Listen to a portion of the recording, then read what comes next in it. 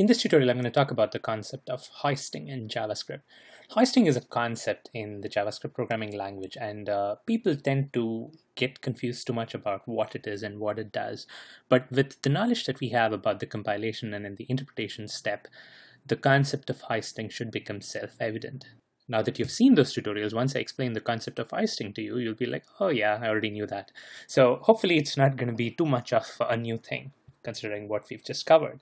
The idea of hoisting is that whenever you write variable declarations in JavaScript, it's almost as if when the interpreter runs, the variable declarations are hoisted to the top, it's moved to the top. And uh, it kind of feels that way because of the two-step process that the compiler and the interpreter goes through.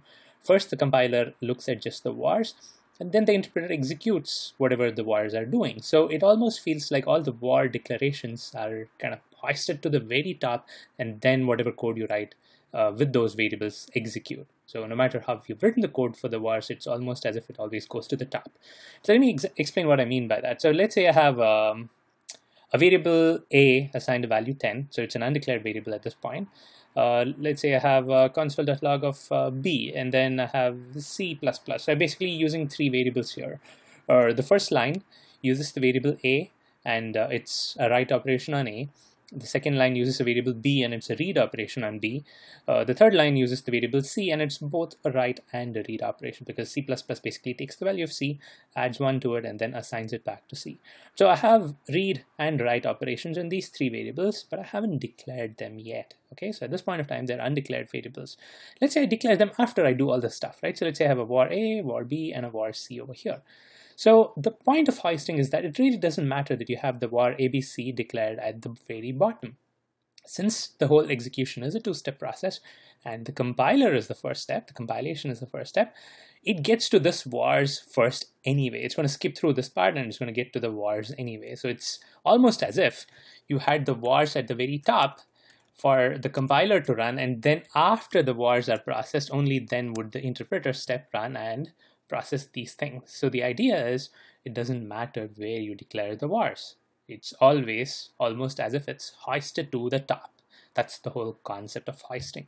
We've looked at examples before where you add a var after you've used it and it still works because the compiler gets to the vars first anyway. So this has uh, this works for both functions as well as variables. Let me give you an example of a function. Let's say I have a function my fn1 and I have some logic over here. But now let's say I call my fn1 before the function is declared. This still works fine because this is something that the compiler interprets right? The compiler says okay I've got this function so it's going to take that and create it on the scope. We've seen it. At the moment it sees this function declaration. There is a myfn1 created on the global scope. And so this function can execute even though the function declaration is below. This is especially important when you're dealing with recursive functions with two or more functions. So what, what, what does recursion look like? In, in case you're not familiar, a recursive function is when a function calls itself. So let's say I have a function recurse and then um, somewhere inside I call recurse. All right, so this is a recursive function. This, of course, has to be inside some condition so that this doesn't keep calling itself for eternity, but there is some kind of a condition which makes it break. But with the condition, you can actually have a valid business logic in a recursive function.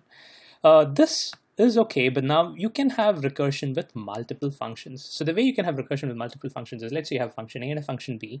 If function A calls B and B calls A, you essentially have a recursive function with two functions. So let's say I have a function A, and then inside this somewhere I call fnb. Okay, and then I have a function fnb which calls fna. Now this could be a valid reason to implement functions this way. And now you see there has been an interlink between two functions, a calls b and b calls a. Now which one would you need to declare first?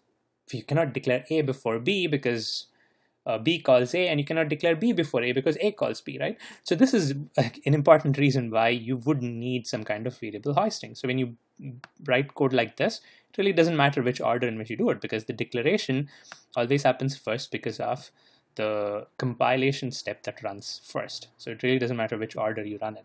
If the order mattered, the second function could call the first function, but the first function could never have called the second function because that gets declared after it, right? No matter how you switch it, whatever is the first function could not have called within itself the second function because the declaration follows. So this is uh, where function hoisting helps. It doesn't matter which order you run it.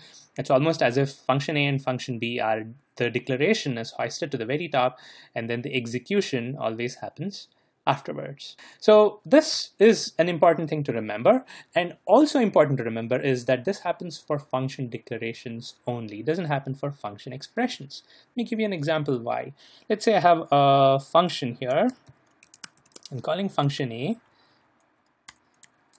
And uh, let's say I'm creating a function A here, not as a function declaration, but as a function expression. Say var fna equals have an anonymous function over here. Now, what is going to happen? Well, the compilation step runs first.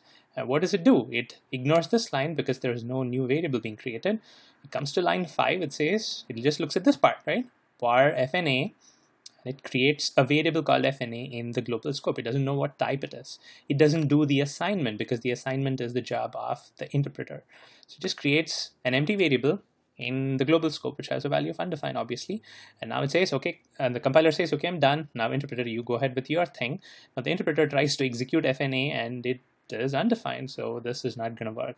So this works if it's a function declaration, right? If I were to change this to a function declaration, then this would work, but it doesn't work if it's a function expression because an expression gets interpreted by the interpreter. It's not the compiler which actually assigns the value. So hopefully this made sense. Uh, play around with it and you know when you're looking at code, it's kind of obvious where function and variable hoisting happens. But this is an important concept to remember. Uh, there is always declaration hoisting in JavaScript, be it variables or functions.